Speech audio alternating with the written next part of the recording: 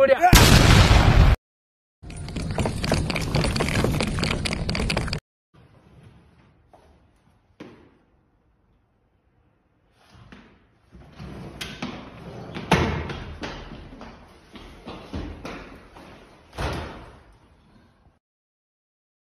テストも終わったしどっか遊びに行く？そうだね。ん？これは枝豆？あっちにもずっと続いてる。どうしようさっき農家さんが台車に乗せられていくのを見たんだけど。え？何？どういうこと？現れた農家さんと落ちてる枝豆。事件の予感。あ方向音痴なのに。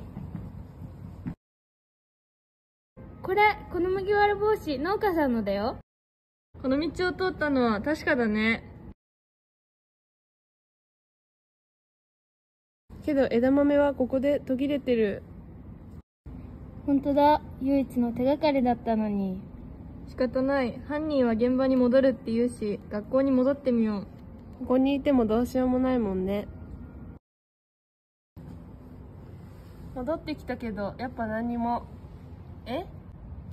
逆の方にも枝豆が続いてる小さくて気づかなかったんだ。嘘。枝豆ここで途切れてるよ。え本当だ。周りにもう落ちてない。じゃあ本当にここで終わりなの？まだもうちょっと行ってみよう。確かこの先公園あったよね。誰か見てるかもだしここまで来たら行くしかないね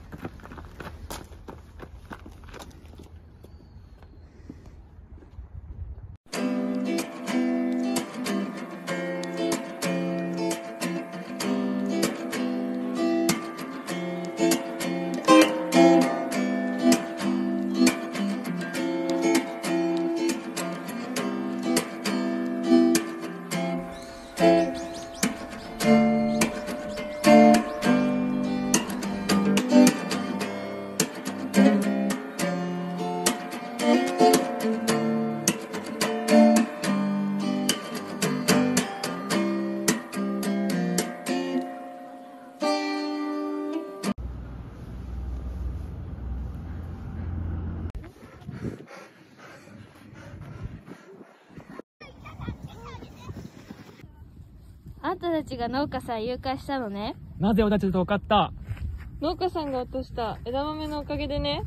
爪が甘かったね。くそ